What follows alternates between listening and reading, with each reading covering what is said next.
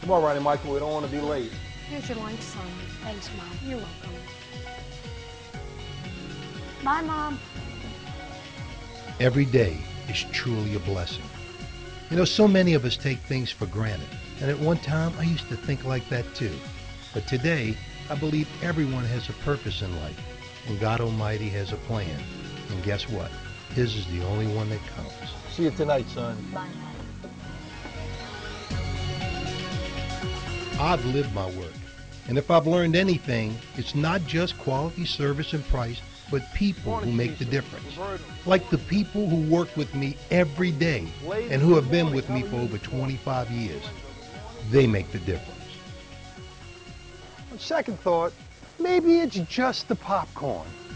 Give me some of that.